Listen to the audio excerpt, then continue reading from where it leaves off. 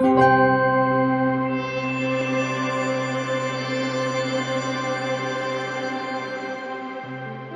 morning, everyone. Today, our session is dedicated to businesses.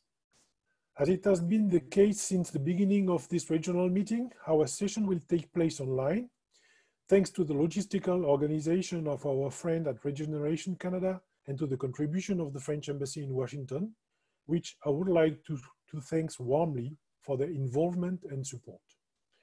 As a reminder, the objective of the regional meeting is to give the floor to all stakeholders who can act on soil health and soil carbon sequestration, decision makers, farmers, scientists, NGOs, and businesses. Each has, has been and will be able to present its point of view and will be able to interact with the other. At the end of the week of meeting, we hope to be able to propose a synthesis in the form of a regional roadmap for concrete action on the ground in favor of soil carbon storage and soil health through agriculture and forestry. Our session today should last 90 minutes in order to allow enough time for exchanges and we will always have the comfort of simultaneous translation, as Antonio said, in French and in English, even if though most of the presentation will be in English. I should point out that each session is recorded in order to be able, available for also for those who cannot be with us today. As there are many of us online, we will be using a webinar configuration. All microphones and camera are switched off by default with a chat room for technical question and a section at your disposal for question and answers to the speakers. When you ask a question, please, in this section, start by specifying to whom the question is addressed so that it will be easy for us to ask on your behalf at the end of the session that question. Even if you are not the originator of the question, you can like it so that we can identify easily the most popular question to ask first. As I've been doing since Tuesday, at the end of the session, we'll be making available online a survey in the form of a multiple choice question to get your feedback on a few targeted questions. Please respond within the time limit by limiting the number of responses to three when you can give more answer than one. For those of you who have been following us from the beginning, you have already noticed that some questions are common to each session and some other are session specific. For our business session today, we will have three presentations of 15 minutes each, or even maybe more. Although you have them, they are summarized bibliography, biography in the agenda, I would appreciate if each speaker could briefly introduce themselves at the beginning of their presentation. The presentation will be mainly in English, as I said, but if you want to choose French, you can select it at the bottom of your screen if using a computer, as Antonius remember you. And the material for this presentation will be available after the regional meeting and will be sent to you today or tomorrow. Without further ado, I will give the floor to Mrs. Kimberley Cornish, Director of the Food Water Wellness Foundation, we will talk about soil carbon measurement and predictive mapping using remote sensing and machine learning. Sorry, pilot project in Alberta. Mrs. Uh, Kimberley Cornish, dear Kimberley, you have the floor. Thank you so much, Paul. I really appreciate this opportunity to speak. Um, I remember when the French government put forward the 4 for 1000 initiative in 2015 and it was a validation of work that we had been looking at for for many years and we're really excited that there's an international movement to further the work of farmers and scientists on the ground so um, I'll share my screen I think this is gonna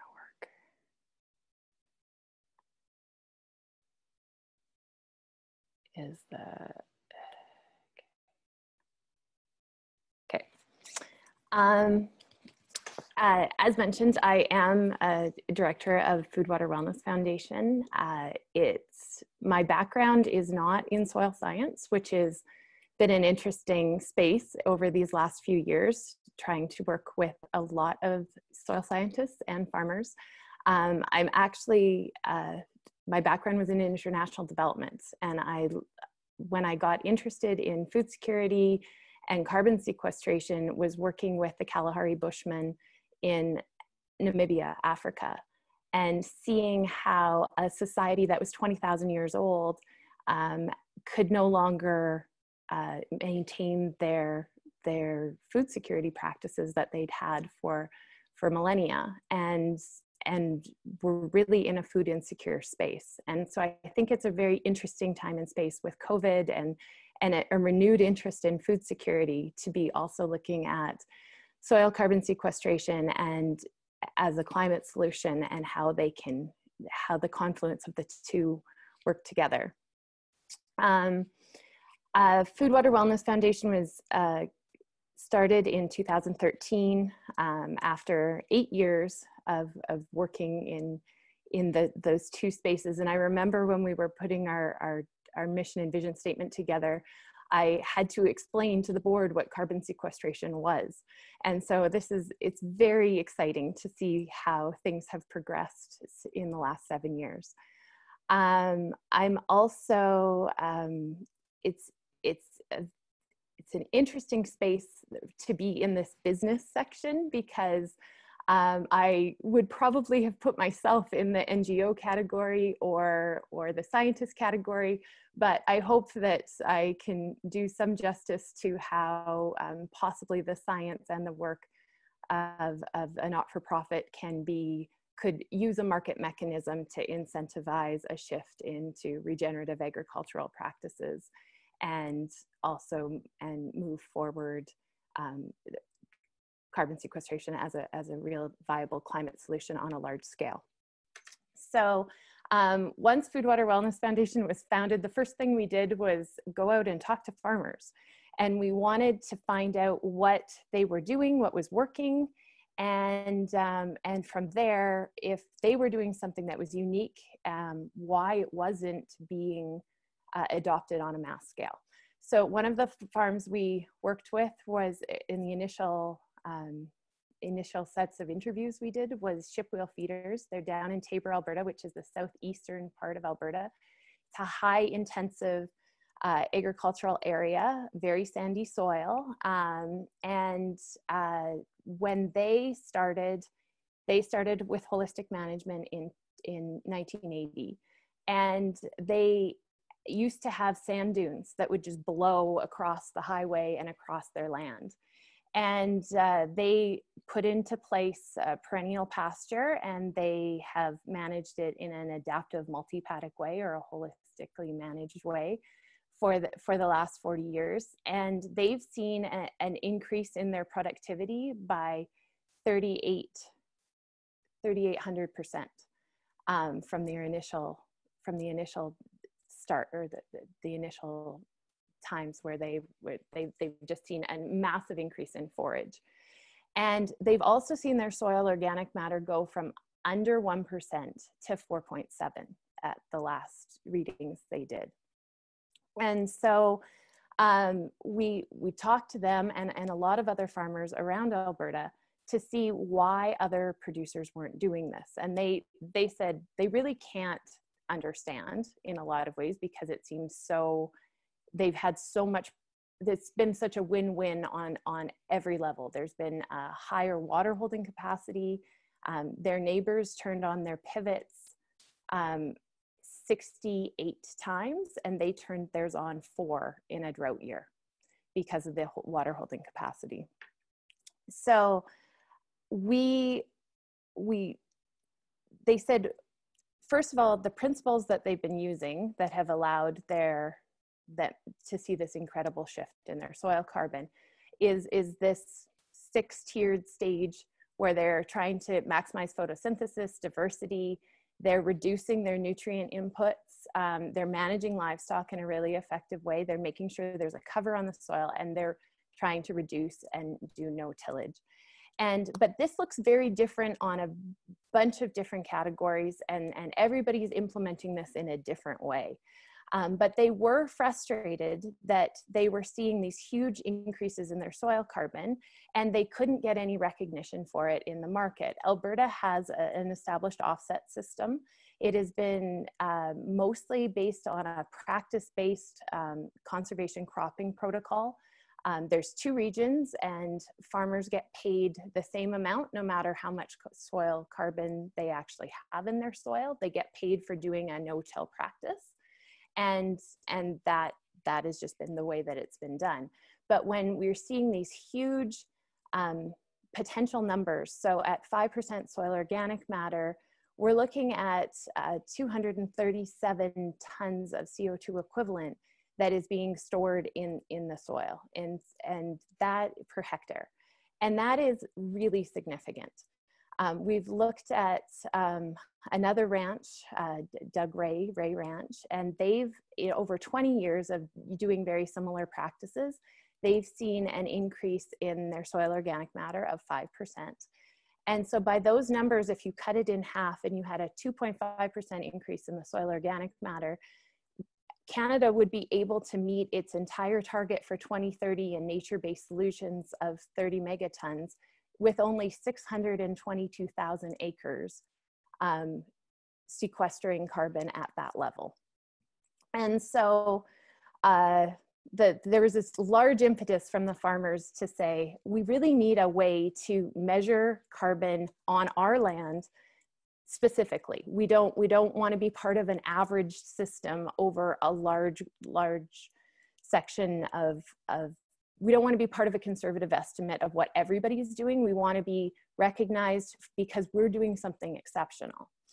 And that led me to uh, the UNFAO conference, GSOC, at in 2017 in Rome, where I met Gabrielle, and it was because of Seth Itzkan that I managed to uh, know about the conference. So thank you, Seth, if you're listening today.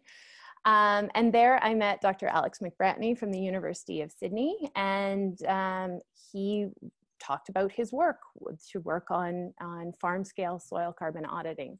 From that point forward, um, we got in touch with uh, his former grad student who uh, did a lot of the, her PhD thesis, formed a lot of, of, of that work that also has created the, the, the basis for the Emissions Reduction Fund in Australia, where there's farm scale carbon auditing, there's a baseline taken, and then uh, it's remeasured within three to seven years, and the, the farmer can get carbon credits for that delta of, of the carbon that they put in the soil.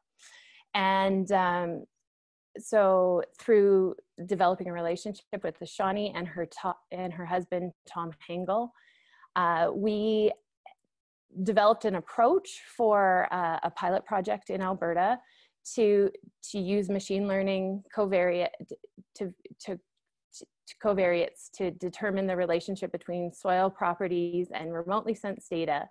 And we're able to do this at a density of four cores per square kilometer, which I just realized this morning. It was like a moment of insight that that's four per 1,000 square meters also, which was just a happy accident, but I was very, I was enlivened to, to see that.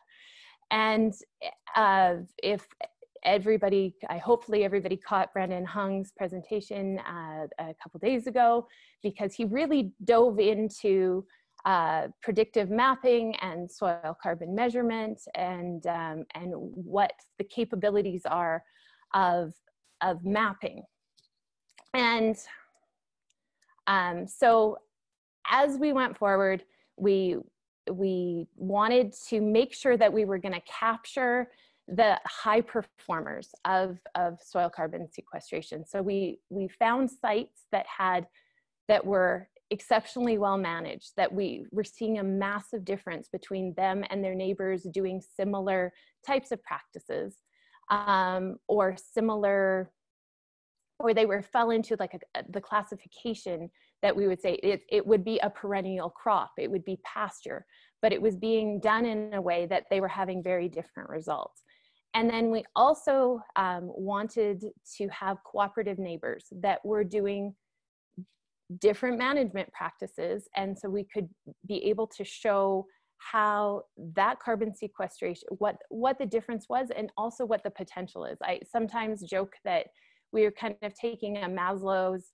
approach to, um, to, to agriculture. We're looking as he looked at, at people that were self-actualized and, and doing amazing and like living a very happy, healthy, well-adjusted life and performing exceptionally um, instead of looking at dysfunction, we're doing the same. We're trying to really focus on, on producers that are having quite remarkable results. And then there was a, whole other factor, set of factors that we wanted to look at. And so when we were doing sites, so we have eight sites of clusters of farms around the province, um, starting at um, up in the Peace Country, which I was just up there after a 20, 20 I think it was actually closer to to 25 uh, or maybe 30 hours of driving um, amid some soil sampling. And then we go um, to the middle area to Tomahawk, and then we've got some in central Alberta and all the way down to Taber.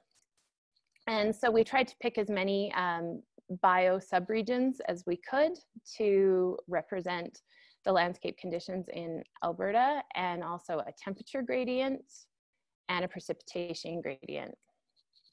Um, uh, Tom Hengl in the Netherlands has been uh, from OpenGeoHub and Envirometrix, uh, has developed our sampling plan and he used 60, over 60 layers of covariate data to create the sampling plan. Uh, this is a schema of predictive soil mapping, which I am, I understand on a level of, of of generally being able to understand it, but I will never become a, a coder and, and be able to fully function in this space.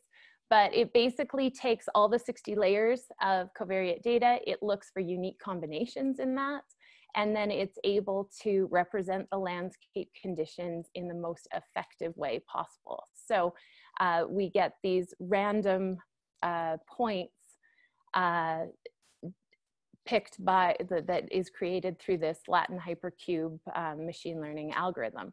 And uh, as a result, we end up going on a bit of a wild goose chase. I, I sometimes call it like uh, the, the rural version of, of uh, Pokemon Go because we're wandering around with our GPSs trying to find this random point in the middle of it.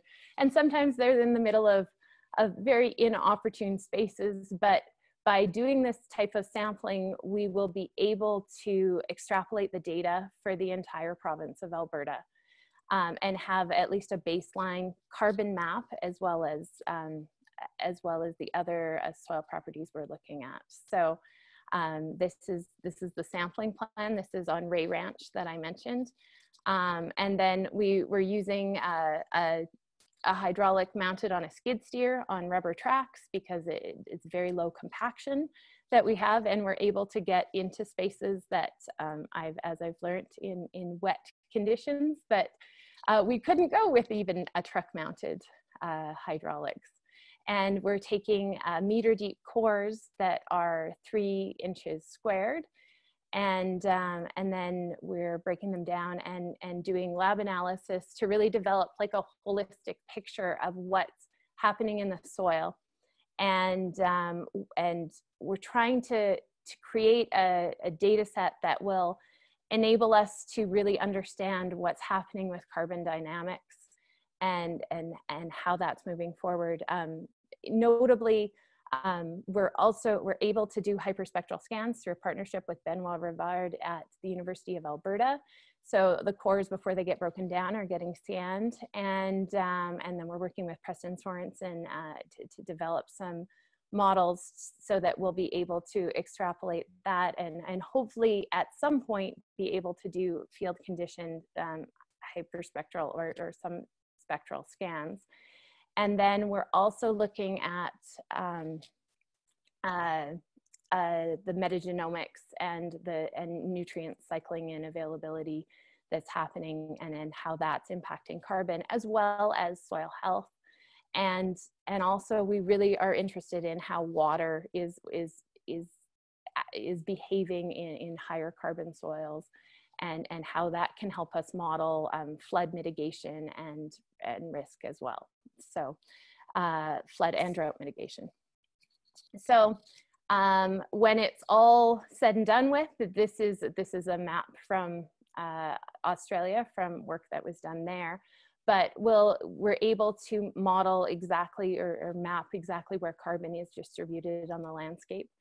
And I think what is going to be very interesting is, and we're still in the early, we're still in our first round of soil sampling, um, but uh, I'm, I'm very excited to see the maps when they come out because I think that it's going to show carbon distribution in a really really interesting way. And there was a question um, in the in the wednesday session about why are we spending money on mapping things and giving money to scientists instead of giving money to farmers to, to actually do this work. And uh, my my argument for that would be to see when we can actually see how the practices are changing soil on the landscape. There's there's an incentive to for other farmers to, to understand the benefits but also there's there's a, a, a true incentive to shift into uh, uh, well there's a validation that we could look at market mechanisms and we could use the existing alberta or or potentially national offset system or the voluntary market to quantify this carbon and, and actually pay farmers for for the for the accumulation of it on their land as as another as another crop.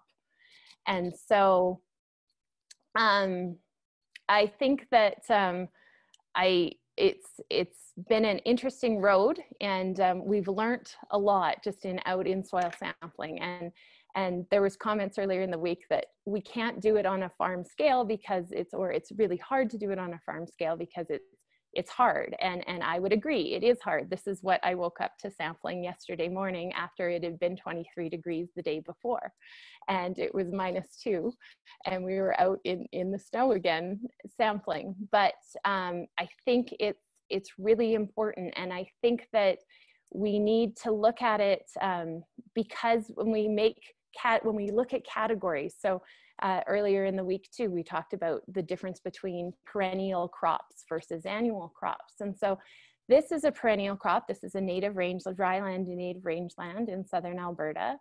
And this is the quality and condition. This is also a dry land. Um, it, it's it's it's more tame has come in but they haven't planted it to be tame. It's just it's it's evolved. Um, and this is 10 miles away. And this is the soil sample that that came out of that piece of land. And so it really how we're managing this land as opposed to it being annual or perennial makes a significant difference. And then uh, just across the fence we have an annual crop uh, that was corn last year. Uh, i think it's going to be um, into canola this year. Um, but this was the soil sample that we took across the fence from this soil sample. And and it's just been it's been we've we've hypothesized that this is what was going on because of the the other soil samples but it's been absolutely shocking to see how how this is actually um, so illustrative is illustrated by the, the carbon sampling and um, this is uh, this is Blake Holtman. This is uh, the the owner of Shipwheel Farms, and this is he's standing um, just behind his land on his neighbor's place, and um, he is uh, showing uh, the the sand dune that was that was present on his land um, when he when he started uh, managing his land differently. Um, but this continues, th this, uh, this cropland uh, continues to blow. And so they've actually uh, cut it, cut in. And if you can see, there's actually um, three, three levels of, of, of fencing here, right in this, uh, there's a low, medium, and high fence. And, and that's because the, the the sand, the, the soil keeps blowing to a, to a level that they have to keep increasing the fence levels to keep what used to be uh, an area for grazing, to keep the cattle out of the crop. And, and I think that um, when, I, when I, we look at what's possible in terms of carbon sequestration at those high numbers and, and how this could really be mobilized as a climate solution that could also enable producers to increase their revenue streams.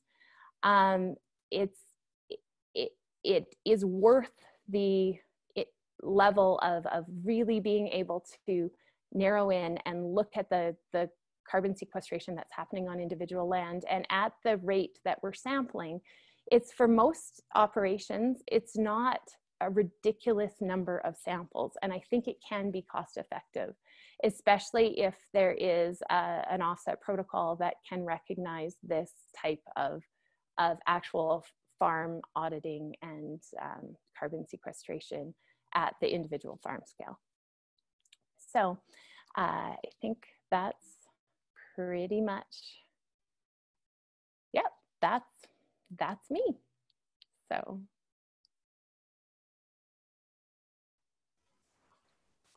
Thank you very much, Kimberley. Very, well, very good illustration, in fact. then it's difficult to find argument against when you look at the picture. So I will, um, we will, there are some questions coming and uh, we will answer to them in, in the last part of, uh, of our session. Thank you very much. And so keep, uh, yes, keep your connection on. You, we will ask question to you. I think we, we have a little bit of trouble with uh, the connection with Dan. So maybe we'll uh, move forward and uh, ask Debbie to take the floor first, if she don't mind. So um, I just would like to for, to, for our audience to don't forget to ask a question in the Q&A section and vote for the most relevant one uh, if you find one who suits you. And we will deal with them in the order of preference at the end of our session. So now I will give the floor to Mrs. Debbie Reed, uh, Executive Director of the Ecosystem Service Market Consortium. Debbie, the floor is yours. Thank you. Can you see my screen? Yes, perfectly. Okay, perfect. Thank you. So thank you so much. And thank you, Kimberley, for that excellent presentation. It's actually a nice tee up for what I wanted to talk about. Um, I actually see that I'm not starting at the beginning. So my name is Debbie Reed. I am the executive director of the Ecosystem Service Market Consortium, which is a new national. Sorry, sorry, Debbie. Could, could you could you come close to your mic because uh, there have a lot of echo in, in the room. Oh yes. Okay. Is that better? That, that's better. That's better. Yes. All right. Thank you. I'll also try to speak slowly, but I get excited and speak fast.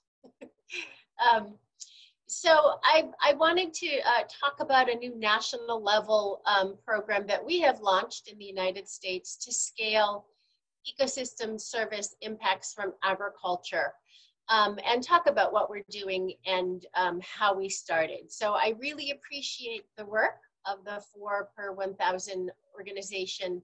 And I, like Kimberley, was really excited when this um, came up in 2015, led by the French government um, historically, soil carbon had actually been on the agenda as part of the Framework Convention discussions, but um, back in the 90s, when I was when I started working on this, there was disagreement about the actual technical ability of soils to sequester carbon, and issues um, such as permanence were a, a large part of the disagreements, which led to it being taken off the table within the international negotiations. So I really appreciate that, um, both technically and politically, they're back on the table, given that they're so incredibly important. So I'll talk about um, ESMC and um, our activities in this space, starting with our mission. So we are a nonprofit organization set up really to scale incentives for farmers and ranchers to improve soil health systems that benefit society.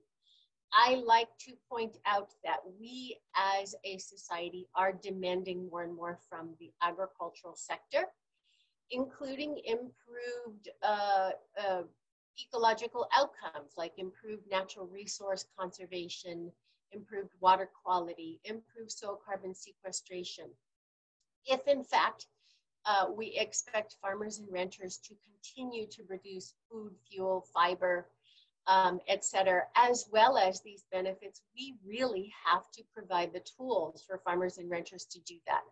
So that is the mission of our organization, to ensure that those tools are there to incentivize farmers and ranchers. And Kimberley spoke incredibly well to the fact that we need to provide not just educational um, materials and opportunities, but also finance-based um, and incentive-based opportunities to help them understand what it is, um, which impacts we're looking for, and how best they can achieve them in a way that works on their own farms and ranches.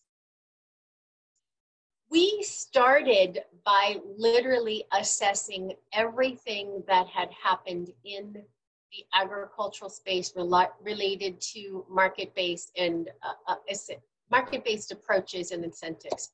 And we designed our market literally to overcome all of the challenges that we've seen there. So our market was both conceived and designed for agriculture. So it is literally 100% focused on agriculture, farmers and ranchers. We also designed it to overcome past market challenges. And we started not only with an assessment of existing and, and past markets, but also we started with a demand side assessment. We commissioned an analysis of could we create a market that has enough demand to provide financial incentives to farmers and ranchers? And that informed how we designed our market. And then finally, we recognized that farmers and ranchers, um, again, to achieve the impacts we're seeking, not only need to be rewarded, um, but recognized for their efforts. And there's um, there has been a history, I think, of viewing agriculture as a problem, right? Particularly when it comes to environmental outcomes, and not enough uh, recognition of the actual beneficial impacts. So that's what our market is really designed to do. Um, how are we different from other markets? So we are established as a public-private partnership in which all of our members are collectively investing in the very programmatic and structural underpinnings of a technical, technologically advanced market um, that will meet buyer demand. And we view buyers um, as, as different, and I'll speak to that as I continue my presentation. But the sellers uh, in our market are in fact farmers and ranchers. So the very basis of our market is um, incorporating farmers and ranchers in developing the market, in pilot testing the market, um, and then um, ensuring that they continue to be an, uh, an important voice and component of our market. I spoke already about how our market is designed and conceived exclusively for agriculture. Um, when we started to develop the programmatic investments and infrastructure of our market, we designed protocols that are very innovative compared to what we have seen um, in the past and in existing markets. So our protocols um, jointly develop uh, credits for soil carbon, net greenhouse gases, water quality, and water quantity. And the important component here is that they are outcomes based. They are not practice based, and they are farm and field uh, based on farm and field quantification approaches, so that we can, in fact, if we provide enough of a sing- signal to farmers and ranchers, we know that they will respond. And so it also speaks to some of the issues that Kimberley identified of um, overcoming, you know, a high level um, practice-based quantification that does not reward farmers and ranchers who actually do more and see a better outcome um, on their on their farm or ranch. So we're really focused on creating a signal so that farmers and ranchers know the more you do to move the needle, the more credits you can actually generate.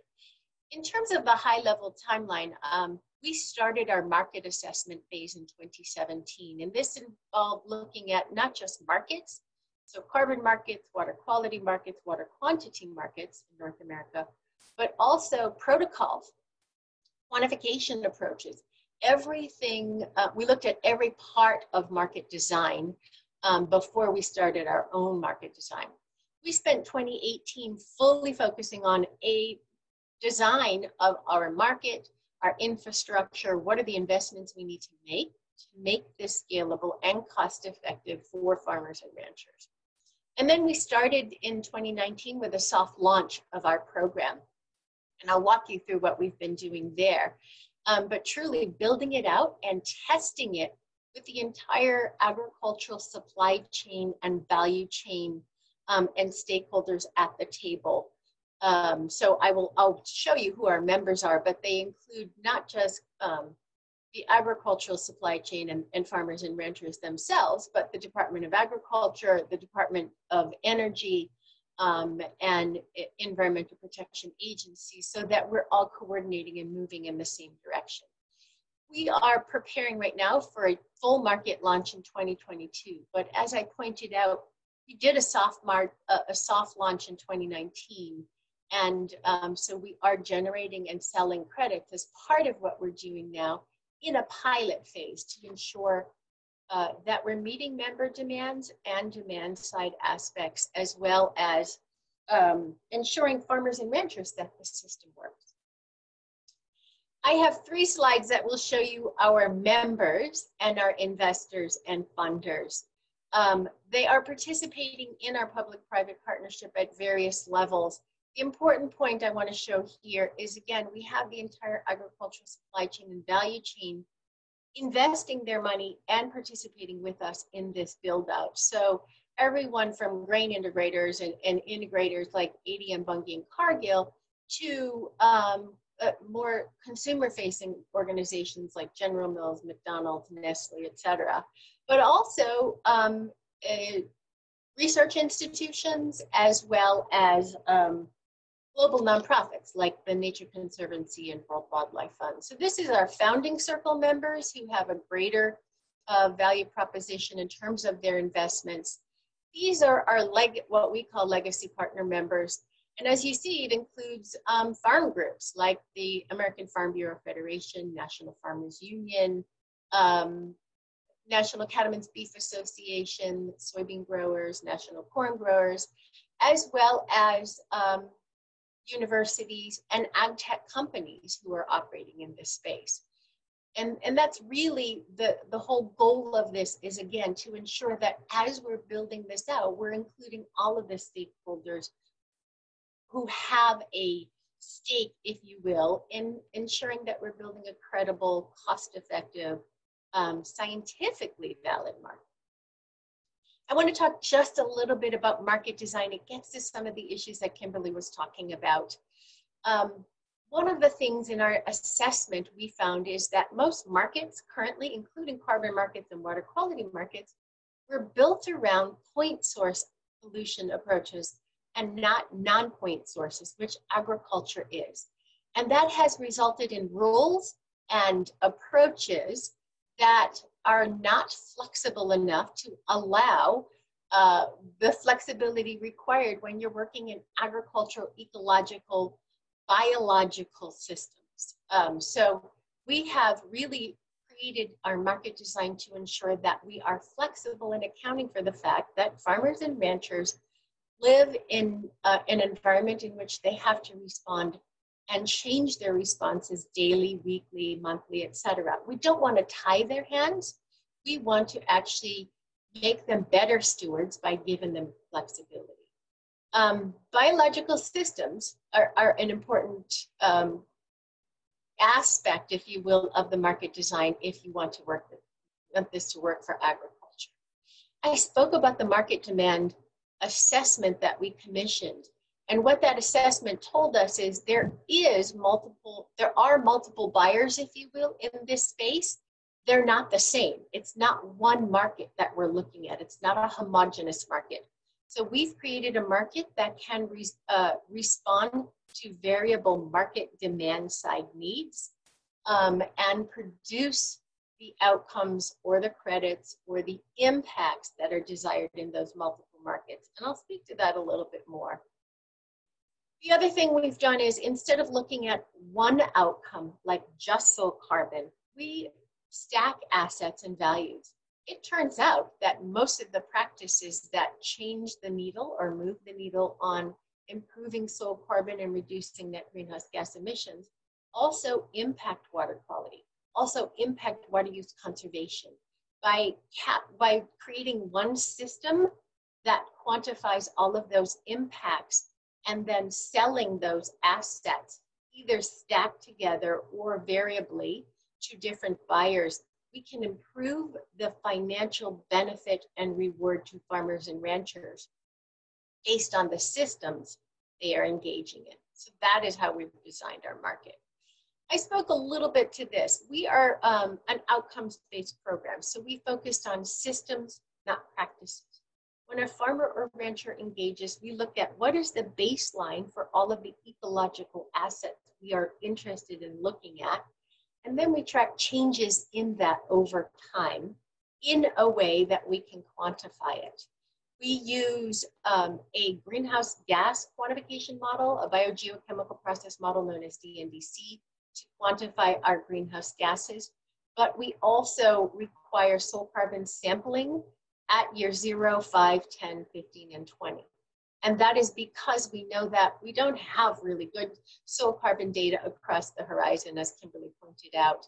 And we do use a stratification tool for the soil carbon sampling to ensure that wherever you are operating as a farmer and rancher, we are doing um, a, a, good job of taking those soil samples um, and ensuring that it gives a really good picture of your fields and your farms. We, uh, like Kimberley, are using a three inch soil, um, three inch Giddings soil carbon probe for the sampling and we're sampling down to 30 centimeters. But we do allow uh, all of our members to soil sample down to 60 centimeters because we do know in some deep rooted systems, you are actually going to see more variability below the 30 centimeter horizon. Um, and if in fact you do see that, see accumulation below the 30 centimeter horizon, you should be able to track it and be safe. Another market design approach we have incorporated is we've redefined eligibility. Existing markets often require that if a farmer or rancher has engaged in a certain practice prior to the baseline, uh, they cannot participate. So we have eliminated that from our program.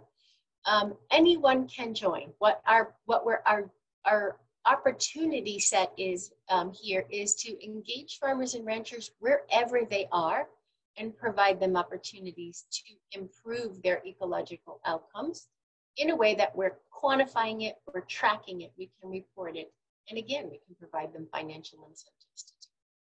The last thing that I think is incredibly important is we're trying to create a market that over the course of the United States and ultimately North America and beyond that, we have one harmonized approach. So the metrics are harmonized, the um, enrollment is harmonized, the outputs and how you get paid is harmonized across the entire um, country.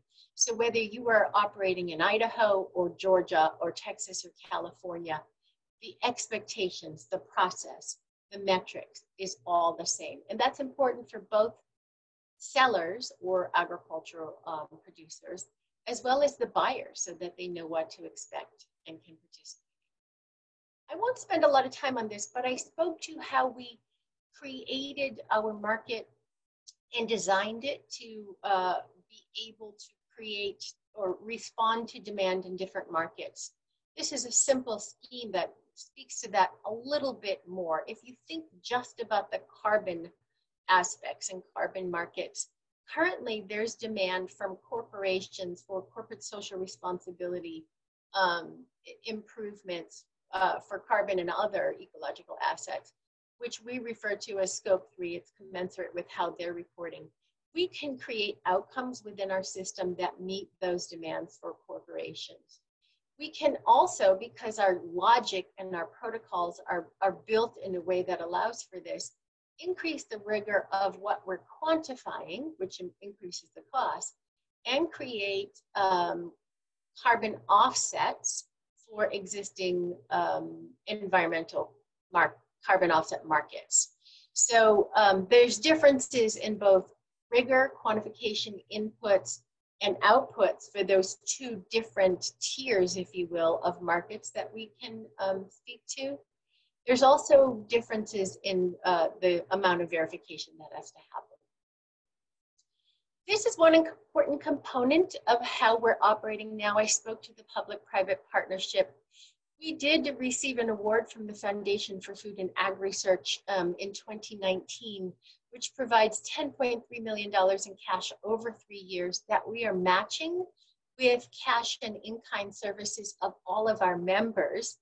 And with that, we are investing in the research, the de development, the demonstration, the deployment activities to really scale this market across the country and ensure that we are technologically advanced, that we are uh, investing in new technologies to reduce the cost of soil sampling for farmers and ranchers while improving the rigor. Um, we're also, with all of our members, piloting in new regions and production systems as we build out our protocols. Um, and we're creating through this process a program so that we have a continuous feedback loop so we can continue to improve our program over time. So any proceeds we get from the program, which is really to cover our costs, we invest back into the program to ensure that it's improved over time. Finally, one of the things we're do work doing as part of this entire build out is working on certification of our program, our protocols, as well as the credits and assets with Gold Standard and SustainCERT, which are global certifiers in this space. This is a nice little simple schematic to just show how the market works. So producer enrolls um, in our program. That is where soil carbon sampling is uh, required at um, enrollments, and that's year zero, and it will be required again at years five and 10 and 15, etc. Um, we, ESMC, because we've built the program to do this, we undertake the quantification of the soil carbon, the greenhouse gas, water quality, and water conservation credits. We then have a, a verification process that varies with the scope, as I indicated. Serialize the credits, sell them, and then pay the farmers and ranchers um, for the impacts on their farms and fields that we are able to quantify. And we do this on an annual basis. Now, soil carbon will not accrue that um, quickly. Um, so we can, we can look at that two ways. I pointed to the um, soil carbon sampling so that we can true up our estimations through modeling at year five and at year 10 um, but one of our hopes is that through this system, we can not only provide feedback to farmers and ranchers about how well they're doing, depending on the practices or systems they themselves choose to engage in, um, but we can report out at a national scale the trends and the impacts we're seeing because we know we will see regional differences. We know we will see deep differences based on production systems and we will be able to track that and report that out at a national level. This is where um, the colored regions on this uh, map show where we our protocols actually apply right now. The way we are building our protocols is um, because we know quantification and impacts and outcomes are highly variable across regions, across time, and across space um, we're building the protocols in a way that is science-based and, and standards-based. So the protocol boundary regions, um, a farmer and rancher will never see this, but what, how the protocols work behind the scenes are based on USDA land resource regions as well as major crop zones. So that for each of these black boundaries you see on our protocols, um, the quantification approaches are a little bit different. But again, the, the farmer and rancher will never know this. But our protocols currently apply to the colored regions that you see on here. We are in, the, in, um, in fact building it out at a national level. Where we are pilot testing right now with our members, um, the blue stars are regions and areas where we uh, are currently pilot testing with our members in various systems, including grazing land, pasture land, grassland systems, as well as row crop systems. The blue and orange stars are um, pilots that we will be soon announcing that the, they're in the, the planning stages, some of them in the final planning stages, some of them in the early planning stages. The yellow stars point to um, pilot projects that we are right now just starting discussions on and building out our protocols so that we can in fact actually move to pilots there by the time we launch our program in 2022, we will not be operating necessarily at a national scale, but we will be operating in all of these regions at scale, as well as some additional. Um, that is the end of my the, the formal presentation, but I hope I did answer the, the question that you're most interested in, I think is, how do we achieve scale in agricultural practices and support soil health changes across the country? Thank you.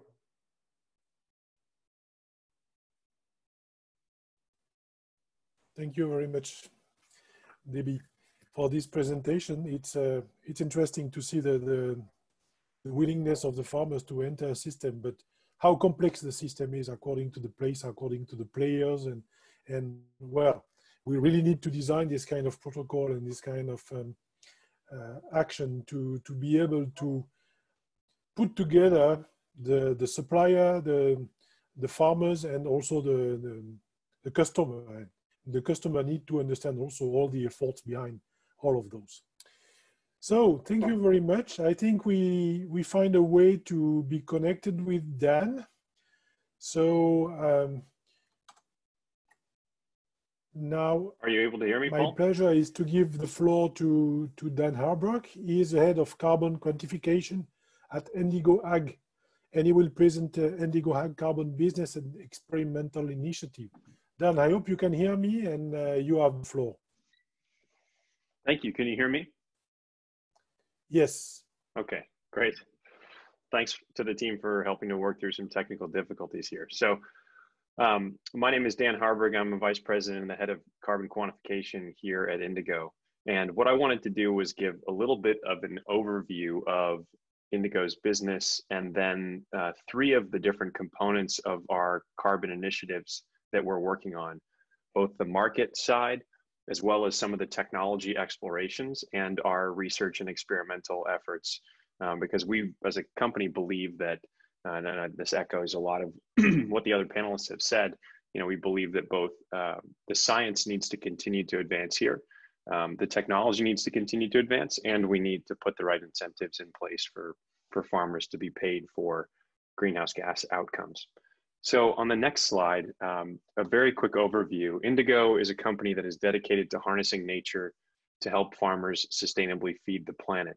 And we think about that from three different perspectives of improving farm profitability, improving the sustainability of the agricultural system, and of better aligning agricultural practices with consumer health. On the next slide, one of our fundamental beliefs as a company is that as long as the agricultural system continues to pay farmers to produce commodities, farmers will lack the incentives to adopt new technologies that improve food quality and sustainability. However, if we can find ways to decommoditize the agricultural system and actually pay farmers for some of the outcomes um, for the particular crops that they're producing, we believe that the industry can actually change quite rapidly. And it's for that reason that on the next slide, as you see the way that Indigo is, is structuring itself, we have essentially three different marketplaces, all of which work in tandem to try to help growers earn additional revenue for decommoditized agricultural products.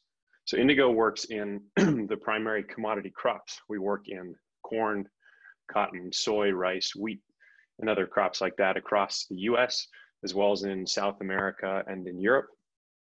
But uh, we think it's, it's very important, for example, as you think about, say, um, a, a variety of wheat that has a lower carbon footprint or has used less pesticides or fertilizers, it's important to actually be able to set up an entire ecosystem for selling, transacting, and moving those grains in unique ways.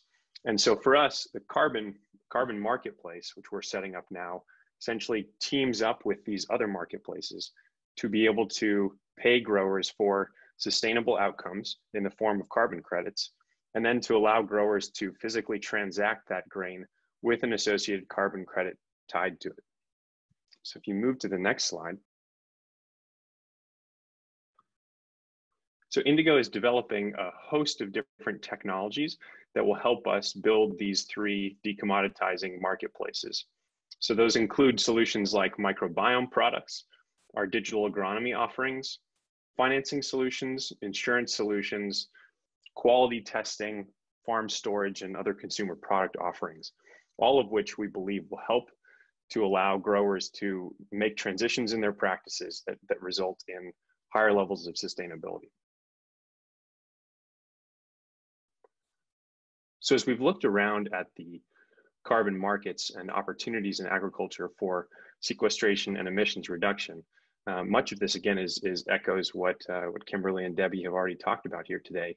But some of the challenges that we have seen are that there are very high costs of measurement and verification of greenhouse gases and soil carbon today.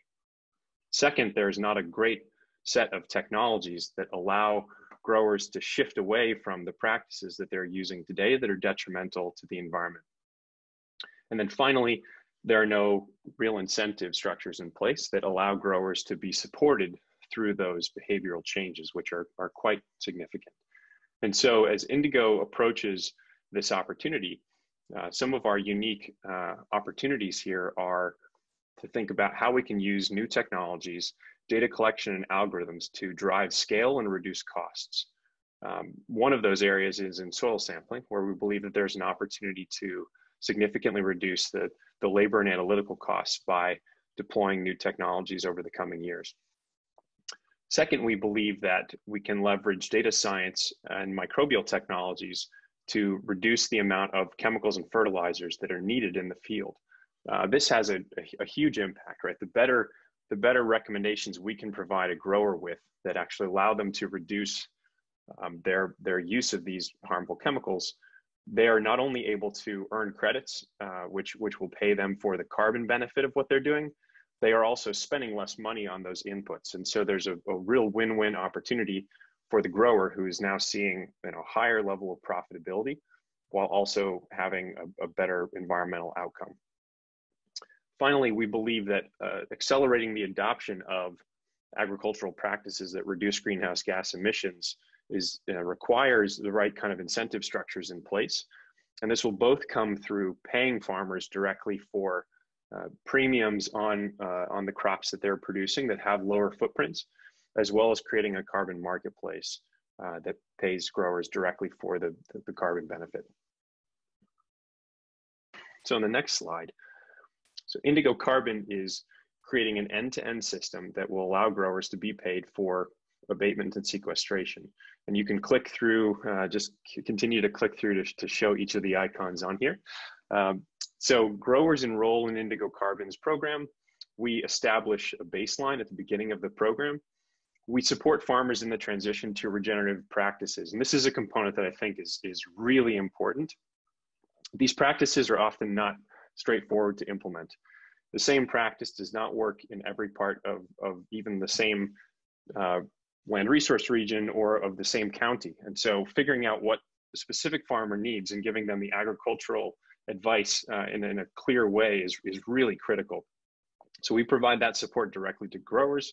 We help with gathering data both manually and automatically from equipment on the growers' operations, uh, from logs that they have, and as well as remote data sources.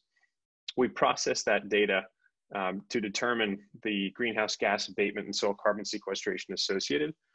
We generate a, a credit uh, that is verified and validated. And then if you click two more forward, we sell those offsets to, to buyers and transfer the value back to the grower. And then the next slide. So I've touched on some of these pieces, but for us, there are really four cornerstones of allowing a marketplace to exist. So, you know, of course, we need buyers and we need growers. We need folks who are willing to and interested in offsetting their emissions um, or insetting their emissions and, and buying a, a carbon credit. Um, they will, you know, hopefully be sort of large volume supply or large volume buyers who, who come into these marketplaces. Similar, we need growers to participate. We need them to make practice changes. Um, we need them to, uh, to value and trust the quantification methods and the overall uh, rigor of the marketplace. And then in the middle, we need a very rigorous carbon quantification system that is both scientifically accurate and credible and has a low cost that continues to decline over time as new technologies are implemented. And then the second sort of middle piece that is critical here is what we call regenerative products, which are the systems that we use to prescribe practices to growers that allow them to maximize their overall profit. And carbon is a component of that profit, but it is not the only piece of that profit. So we think about Indigo's mission as standing beyond uh, sort of beyond just the carbon market and thinking overall about the profitability at the grower level and what practices will ultimately be deployed to help them optimize that profitability.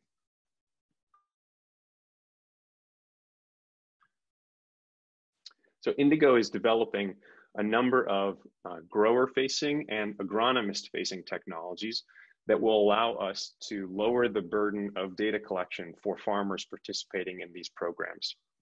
You could think of this like a TurboTax for those who are from the US of, of agriculture, uh, helping farmers move through the various steps of data collection, enrolling their fields and programs, recording events such as tillage and fertilizer, flagging specific pests or weeds in their fields, receiving uh, remote imagery of those fields, being able to connect data collection directly to equipment that they have, to other farm records uh, that they're producing, and essentially streamline the process of enrollment all the way through credit generation. So for us, this is a really critical leg of the stool. Um, not only do our growers interact with this platform, but our soil sampling staff interact with this platform. Our agronomists who are making practice recommendations interact with this type of a platform. And so all of those folks are both inputting and receiving data from the same centralized systems, and they can uh, leverage this uh, these types of offerings to to really bring scale to the project. So in the next slide, there are, as we've already heard, there are a number of different methodologies uh, that have been tried in this space in the past and some that are already deployed uh, and out there today. Generally speaking, those either suffer from being incredibly sample heavy, meaning that they are driven entirely based on soil sampling, or they're driven entirely based on modeling or default values or uh, lookup tables of, of some kind each of those efforts you know suffers in in in ways of, of cost and accuracy. And we think that the methodologies that are in development now uh, will draw a balance between accuracy and cost and over time continue to decrease in cost and increase in accuracy. This will be a really critical uh, building block for ensuring that these are both accessible to farmers provide the most revenue opportunity to farmers uh, and the best opportunity from a scientific rigor perspective to buyers. So in the next slide, Indigo is partnering with the Climate Action Reserve and with Verra to develop methodologies both in the US and internationally to, um, to, to facilitate this market.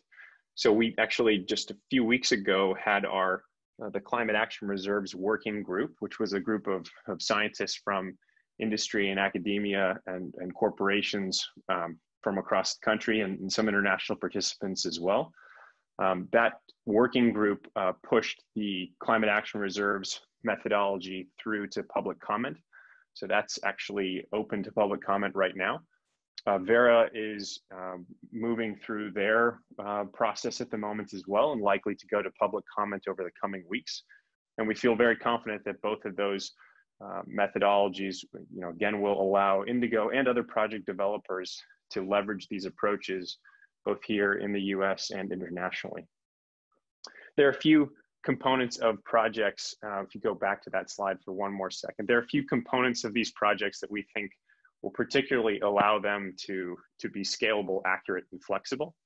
That includes being able to have grouped portfolio projects um, where millions of acres across a given geography will be able to be grouped and then statistically sampled such that every single field in the program doesn't require its own its own unique quantification per se. Um, that approach together with combining sampling and modeling and remote monitoring, uh, we believe will allow this program to, to reach a, a cost-effective scale quite quickly. Similarly, uh, the importance of, of iteration in the science is really critical here, and that's what I'll spend the last few minutes of the presentation talking about. But the, both of these methodologies are being set up such that as models continue to advance and as technologies continue to advance, those can be deployed um, to continue to bring costs down and increase accuracy.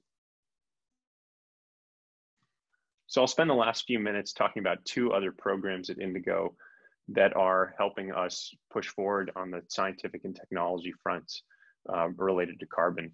So the first is what we call the Terraton Challenge. The Terraton Challenge was launched about a year ago um, where Indigo sought to support entrepreneurs who are developing technologies for accelerating, quantifying, and rewarding growers for carbon sequestration and greenhouse gas emissions reduction. In the next slide, you can see a list of the current 30 participants that we are working with. So we had about 260 applicants from over 40 countries around the world submitting their technologies for consideration in this, uh, in this challenge. And we selected a, a top set of those, which are shown here, whom we are now working with to evaluate these technologies. Uh, some of these are tools that will reduce the cost or, uh, or burden of soil sampling in the field. So others are looking at um, new technologies that are lab-based that could bring down the costs of, of soil carbon quantification. Um, others are uh, remote sensing approaches and some of these are other marketplaces that, while they might be competitive in some ways with our own efforts, we, we see uh, the development of an overall ecosystem of marketplaces as being an incredibly powerful tool uh, to push forward uh, the, the global efforts in, in soil carbon. So on the next slide, Indigo is providing these Terraton Challenge innovators with a number of key resources. We're helping evaluate their technologies. We're helping to uh, provide them market access and visibility.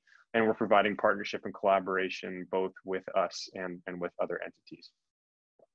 And then the final slide, um, another really critical component of this is, uh, you know, as you've heard from, from others again, is continuing to develop the science and thinking about how things like deep soil carbon are connected to management practices, uh, driving forward the um, the recommendations that we provide to growers. So thinking about what are the best practices for a given soil type in a given region to drive soil carbon sequestration. Um, you know, considering things like permanence and trying to understand how uh, how permanent various uh, forms of soil carbon are and what practices link to those different forms of soil carbon. So there are a number of different research goals that we have as an organization and we started last year sampling farms uh, around the, the country. Um, we've pulled about 3,300 soil samples to this point that are down to a meter depth um, from, from that cohort. We're looking at a number of different measurements, including soil carbon and bulk density, uh, as well as, as interviewing these growers that are participating in this program and collecting soil microbial community sequencing so that we can understand some of the connections between the microbiology uh, and, and the practices that they're implementing. And we're working with a number of university and institutional research partners to analyze and publish the results uh, that we collect from these farms. This will be a, a multi-year, possibly multi-decadal research effort for us because, uh, of course, we are looking at tracking the changes from field to field over time as growers are, some growers in this program are transitioning into more um, soil health practices. Others are already using those practices. So we have a number of different research cohorts in this, uh, in this experiment. And we're excited to see how this can better inform our market as well as others' markets in the future. So that's the end of, of my presentation. Thank you so much. Thank you very much, Dan, for, for this presentation. That's um, well, those three presentations show clearly that the, the things are not so easy and uh, the, everything is interconnected and people try to, to work at different level.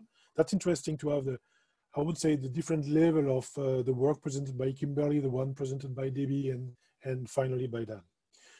So the, it's, um, that brings us to the end of the presentation for this session. So now I think we will open the 30 minute time for question and answer. Um, during that time, I would like uh, my colleagues to open the, the, the specific windows for the multiple choice questions for the participant.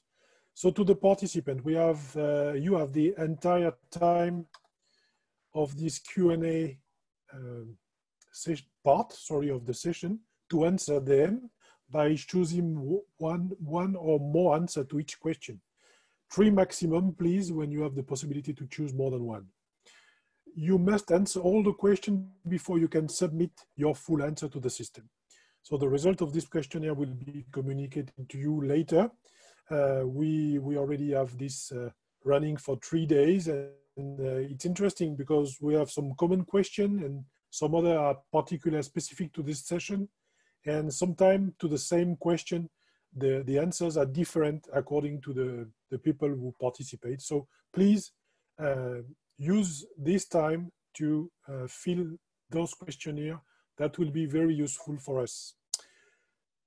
So we have um, some question for all of the three speakers. First, I will start with uh, Kimberley. Um, Kimberley, we have a question about the fact that um, people are doubtful about the fact that four core per square kilometer will be dense enough to track changes in the in the time. Can you answer to that? Because we're using because the sampling design isn't coming randomly, it's coming through the 60 layers of covariate input data. The for it, it will because this the soil samples don't stand on their own i guess they take all those other factors into consideration and so the soil samples validate what the mapping and the remotely sensed data is already saying so that's how we're able to have a sampling density that low to track changes in in, in soil carbon and other soil variables okay thank you um, Debbie, there is a question uh, concerning uh, ESMC uh, and if it could work with the forestry sector and the agroforestry sector as well. That's a good question. So our protocols and methodologies do allow for um, agroforestry, but not forestry systems because we feel the markets and the protocols for forestry systems are actually pretty robust internationally and also in North America. Um, so we are not seeking to include forestry, but agroforestry, absolutely. Okay, um, Dan. Uh, there is a question for you about the CAR protocol who allow for only one production practice to be changed and the entire system to be run by a project aggregator. How does this meet your farmer's principle presented? Um, so if I, if I understand what you're saying, uh, it, the question is that it allows for only one practice being changed. Is that? Yes, one practice change, yes. Um, well, the, the protocol actually only requires that a grower make a single practice change to demonstrate additionality, but we will, or the, the protocol itself will uh, reward growers for any changes relative to their baseline that they're making. So the hope is growers are making um, many practice changes simultaneously and seeing an impact on greenhouse gas emissions and um, soil carbon sequestration from, from that stack. So it, we've tried we've tried to set the bar as low as possible to allow as many growers to participate um, with with that uh, with that requirement. So I think the question may be a bit uh, misguided, but hopefully that clears it up. Yes, thank you very much. I think it was a little bit yes. um, there's a question for all of you, uh, and it, it it is linked to the the landowner. Most of the farmers or many farmers lease the land of their farm. And in, in the system you all presented, will the, the landowner or the farmer be paid for the carbon sequestered? It is very important because we are talking in, in years, we are not talking in, in months. And uh, so maybe the lease will end and uh, what will happen at the end of the lease uh, with the money the farmer receive or the, the landowner. Um, Kimberley, you start. Um, traditionally in the Alberta system, it's been paid to the landholder, but it is negotiate. It, it can be negotiated within. Uh, it's it's really the contract with the aggregator that would that the landowner and the the lease owner could potentially um, either split it or they they could develop their own con- contract system. We we don't like um, both Debbie and Dan or Indigo and are much further down that line of, of, of what that could look like. And, and we're still just very much in the carbon carbon measurement and monitoring space. So, but that's how it's been done in Alberta to date. Okay, thank you for for having answered part of the question, even though it's not really exactly what, what you are doing and what you, you are competent in. Uh, Debbie, you, you have maybe more information about that for us?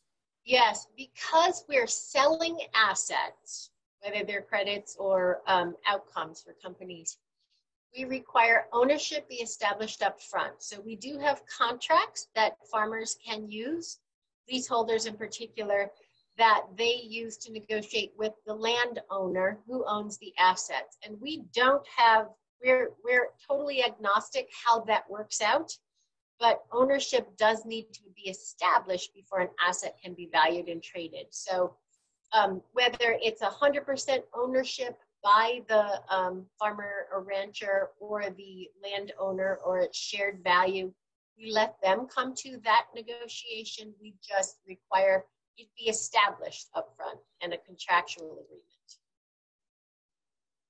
Okay, this is a sensitive point, I think. Yes. Uh, Dan, can you answer that part?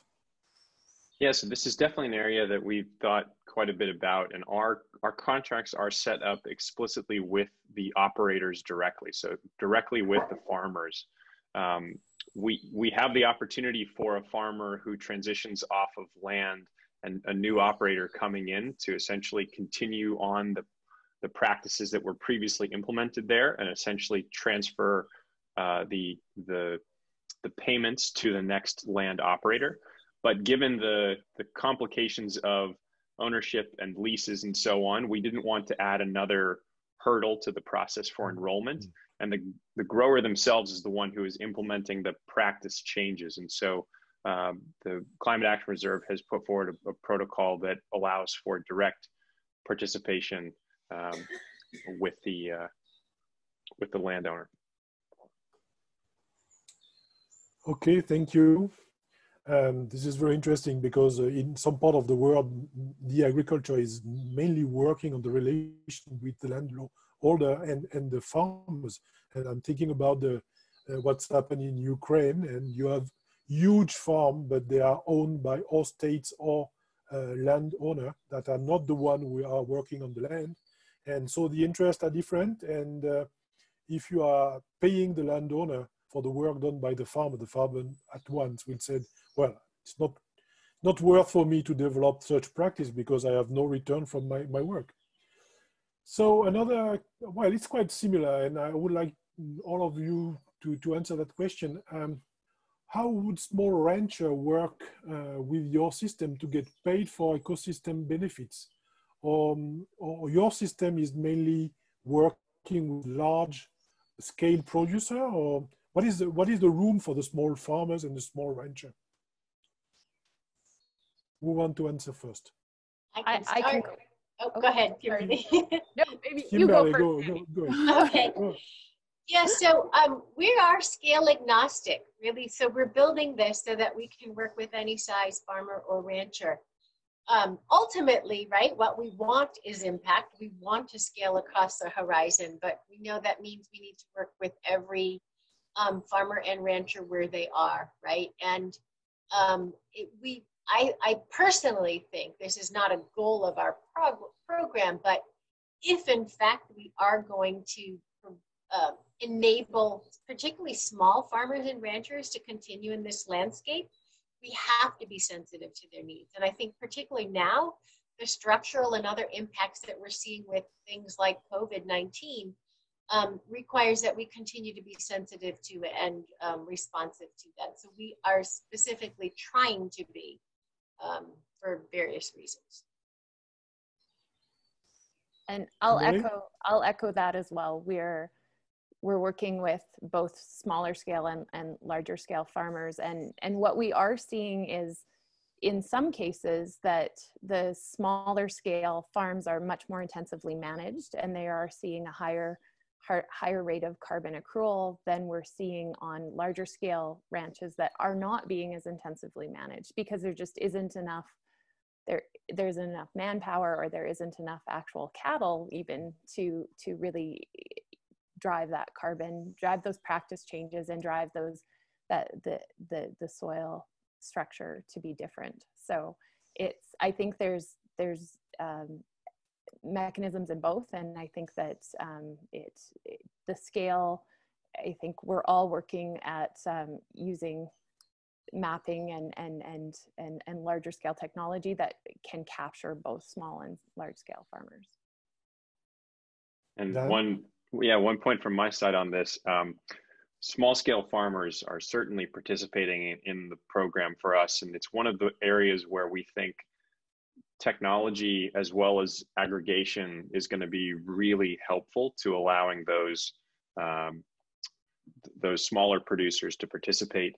You know, if if a small producer had to pay the costs of all of the quantification and verification on just their land uh, the, you know, might not be cost effective for them to do so.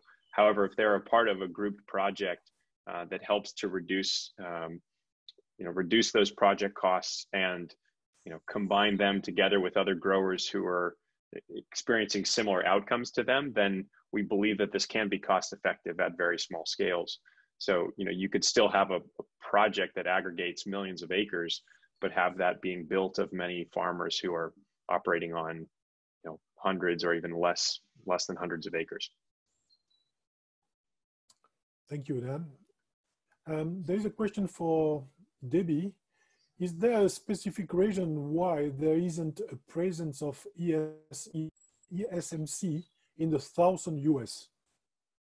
Um, so uh, we have been building out our protocol region by region um, based on member demand. So largely the demand of the buyers right now. We will get to the southeast, but first we will be going to the Pacific Northwest where there's a greater demand, and then we'll be going to the southeast. But we are definitely um, going to the southeast. Okay. Well, there is a comment um, for all of you I guess it's coming from uh, from farmers or I mean at least somebody from the civil society. They said that they are desperate for pricing signal. The, the various soil carbon effort seems to be incredibly fragmented, with each offering their own carbon token. Um, is there um, is there any planning to, to unify this emerging unit for current market? It's true that we, we are experiencing uh, very I mean, a lot of initiative, and um, it seems that each initiative ignore what the other one is doing. Is there a way to try to make those initiatives converge in the same direction and in order to help also the farmers and to, to find the, the best uh, the, the best way to, to be uh, paid for, for the, the carbon sequestration? I know that uh, all, all your initiatives are quite, I mean, young, but uh, maybe you have an idea for the coming years. Yeah, so, oh, go ahead. Go ahead. I just, I'll, I'll, I'll just go quickly and then, because I, um, we're, we're really looking at working with the existing structures that exist um, policy wise in with the Alberta framework and, and the Canadian national government is also looking at a soil carbon or as is, is looking at an offset, building a national offset system. And so we feel that given that Canada has put a price on carbon, um, it's, it's the most, uh, it, it'll return the biggest bang for the buck to the producers um, in the long run. So that's what we're focused on, on working with. Thank you. So we've been assessing the um, market structure and uh, price variability, and right now carbon credits sell for about three, anywhere from three to twenty dollars per ton CO2 uh, equivalent. We know that soil carbon in particular and other um, ecosystem services from agriculture are undervalued. And we hope that in an outcomes-based and income impact-based approach, we can do two things. Continue to um, better evaluate, in other words, look at the true value of those impacts and move the market in those directions so that we're actually paying for the true value of these services. I think it will take time. The way the current markets work, we have seen that the uh, soil carbon and other credits from agriculture are increasing in demand because of the multiple ecological assets associated with just the carbon attribute. We think that will continue into the future and will help but we think we also have to do a better job showing the true economic impact of the outcomes um, as we put them out into these marketplaces. Thank you. Dan, do you want to add something on that? Yeah, I think it's an important area where working with the, uh, the registries is a, a, critical component here. So registries, the, the nationally and internationally recognized registries are you know already have a number of different methodologies that they're developing and there will continue to be refinements in those methodologies um, as we go and as as again as technologies continue to enhance so I, you know i think that there will there will clearly be some that that will evolve some that won't make sense in some time and and we will continue to converge in that way on on the best approaches and i think all of these because of the public and open approach that they're taking. You know, we're kind of learning the best we can from each other um, and looking for opportunities to partner wherever possible. So, you know, I, I definitely see convergence as we continue to move forward. Well, there is a question also for all of you, and it, it comes through all the session. we have a we have biochar addict uh, listening to us. Uh, just um, how, how you take in consideration the fact that the farmers can use biochar because it may change a little bit the measurement and the, the quantity of carbon you, you may store in the soil. Who want to answer to that? I can start. I myself am yes. a biochar addict. okay. and um, I, Uh, so I think there's two ways to do this, right? I think we have to continue to better characterize biochar its chemical and its physical attributes, as well as the longevity of the stored carbon in biochar. I think that's incredibly essential for it to be included in carbon markets, right? We're not going to be measuring the longevity of biochar once it's put in the soil. You have to do it before it goes into the soil. Um, and I think once we have a better approach to do that and can assure um, transparently and credibly the longevity of the biochar product, um, we can better evaluate it and include it in um, carbon markets and other markets. Um, it, it, it's important that for credibility and transparency, um, we all agree, if you will, on what those criteria are for characterizing it and ensuring the longevity. I think it's a huge tool in our toolkit, if you will, for improving soil carbon and reducing carbon um, drawdown approaches. Yeah, I completely agree with what Debbie said. I mean, I, I think that biochar to me sits within a class of of emerging other emerging technologies as well that you know whether that's uh, enhancing the root root structure of plants so that they decompose less quickly or increasing nitrogen use efficiency through um, microbes or other sources, right? There will, there will be all kinds of, of new things that we need to develop first quantification approaches for, uh, and then can, can look to include those uh, in, our, in our markets. We have to look at, at the holistic carbon picture though, sort of pre-production in, you know, and, and into use on the farm. A grower who you know, is, is putting a lot of manure, for example, from a, a you know onto their fields we we you know, just the, the same as, as Debbie was just mentioning about you know biochar. We also need to consider you know where that manure is coming from, its carbon footprint, and thinking about all these things holistically. Mm. So I'm I'm confident that we will develop good quantification approaches for for each of these for each of these technologies, but um, but we just we have to be holistic in the way we think about them. Kimberley, you want to add something on biochar? Um, I, I, I think I agree definitely with Debbie about that we need to quantify that before it goes into the soil. And I, I guess I also just want to, and this isn't a separate, but I think we need to be looking at photosynthetically derived carbon as uh, and the and as as I think they need to be done in partnership. And I think we need to look at, as Dan said, the holistic picture of how it all fits together, but to be tracking all elements and all contributors of carbon to the soil. Okay, but anyway, this is a new technique and this is interesting to evaluate it quite uh, fast because if not, I mean, the people will will not use it while the potential seems to be very high and, and it has to be uh, well understood a little bit better. It's, it's very interesting because when you discuss with the, the farmers or the scientists, the, the, the purpose are not the same. The farmers are very enthusiastic most of the time and the scientists are more reluctant to say, well, this is a good solution. Um, so we need to, to have answers to those questions. Well, what we are experiencing at the moment with the COVID-19, I mean, show that science has no answer to all the questions we have. So we, we need to be uh, patient, but uh, also this is not because we do not have the question, the, the answer to our question that we need not to go forward.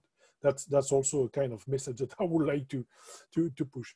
So uh, I think we, we've been through most of the questions that people uh, ask. Um, uh, I would like to thank you very much. I just, I think this is the, the, the last word of our last session.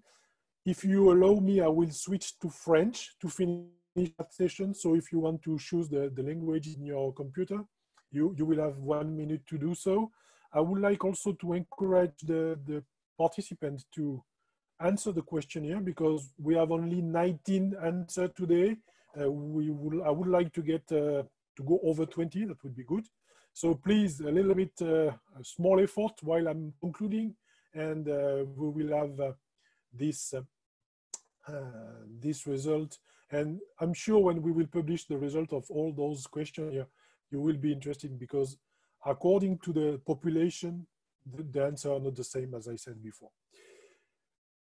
Bien, nous voilà donc arrivés au terme de notre dernière session. Euh, il nous reste euh, ce qui sera un gros travail à présent à synthétiser tout ce qui a été dit, échangé, tout ce qui a été présenté. Les vidéos et les supports des présentations et la synthèse seront mis à votre disposition de tous, participants et orateurs, dans les meilleurs délais. Ça va dépendre de notre capacité à faire cette synthèse. Et euh, nous vous enverrons un mail personnellement à tous pour avoir les résultats, euh, de façon à ce que euh, vous soyez tous informés. Au moment de conclure cette semaine assez dense, je dois le dire, je voudrais adresser un, grand, grand merci à tous nos orateurs. Ils ont été 21 à se succéder durant nos cinq sessions. Merci, merci beaucoup à tous. Sans vous, eh bien, ces réunions n'avaient pas lieu d'être et nous n'aurions pas pu échanger sur des bases, des points de vue qui étaient tellement différents, mais aussi qui montrent l'importance d'aller de l'avant sur ces questions du carbone dans les sols. Un grand merci à nos traducteurs, euh, Peter et Pierre, qui nous ont suivis dans cette aventure dans des conditions techniques euh, parfois, parfois limites. Et puis merci à vous tous euh, pour votre participation, vos questions, pour avoir répondu au questionnaire en ligne. Nous sommes à 23 pour aujourd'hui, donc c'est bien. On a dépassé les 20, c'est super. des sessions 2 à 5. Le premier jour, vous étiez 92 en ligne. Euh, mardi, on était 80. Je compte pas les orateurs. Mercredi, 88. Jeudi, à nouveau 80. Aujourd'hui, nous étions 68. Euh, ça s'est un petit peu émoussé. Nous sommes vendredi soir pour ceux qui sont en Europe, vendredi en milieu de journée pour vous qui êtes en Amérique du Nord, ou même encore plus tôt. Mais au total, ce sont plus de 200 personnes qui se sont inscrites pour assister à notre événement. Et, et vraiment, un grand, grand merci à tous. Grâce à l'ensemble de ces contributions, vous avez collégialement fait de cette réunion régionale Amérique du Nord une première, un succès au-delà de nos espérances. Les circonstances particulières qui nous ont conduites à organiser cette réunion de façon dématérialisée ont malgré tout permis d'accroître l'audience de cet événement régional et d'élargir le réseau de l'initiative 4 pour 1000 et nous en sommes très heureux. C'est une des raisons d'être de notre initiative. Et si vous appartenez à une organisation, une institution, une administration, une entreprise, un, un groupement de producteurs intéressés à nous rejoindre, n'hésitez pas à le faire. Je fais un petit peu ma pub dans cette fin de session, mais euh, c'est important. Plus on sera nombreux, plus on sera fort. Vous trouverez les informations nécessaires sur notre site euh, internet www.4p1000.org ou vous pouvez nous contacter à secrétariat@4p1000.org. Avant de vous dire euh, au revoir, car il est probable que nous organisions d'autres réunions régionales Amérique du Nord dans les années qui viennent. Je voudrais saluer le professionnalisme de l'équipe de Régénération Canada, qui, euh, avec notre équipe euh, de l'initiative 4 pour 1000, a collaboré activement à l'organisation de cet événement. C'est grâce à vous, Antonius, Sarah, sans oublier bien sûr Gabriel, que nous avons pu le faire dans d'excellentes conditions. Béatrice et moi, nous vous adressons publiquement un immense merci. Avant de dire euh, bonne journée à tous, Gabi, Antonius, Sarah, est-ce que vous avez quelque chose à rajouter avant qu'on se quitte? Euh, C'est tout le temps émotionnel, la dernière session. je voulais répondre à ça. Je voulais te remercier à toi, Paul, à, Béatrice et toute l'équipe des 4 pour 1000 d'être si patient, si collaborative. C'était vraiment un honneur puis, un privilège de travailler avec vous pour, euh, pour co-organiser euh, la, réunion.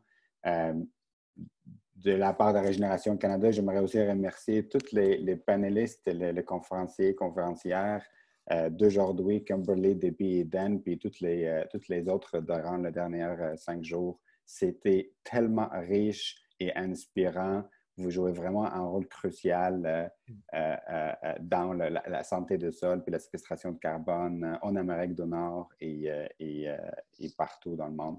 Donc, je voulais juste te dire un gros merci. Puis, je ne sais pas si Gab ou Sarah, vous voulez dire un mot.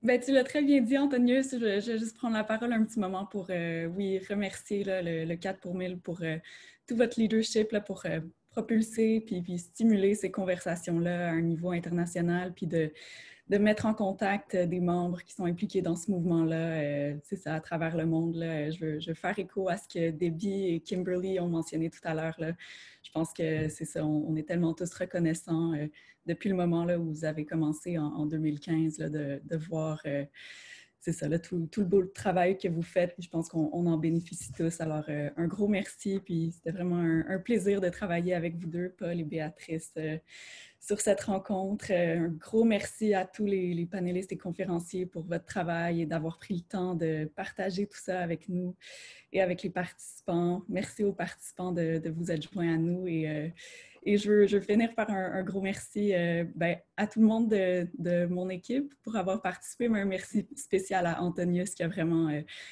vraiment euh, donné du travail dévoué pour coordonner cette rencontre-là. Alors, merci spécial à toi, Antonius, et à tout le monde pour d'avoir pris le temps pour cette belle rencontre. Merci.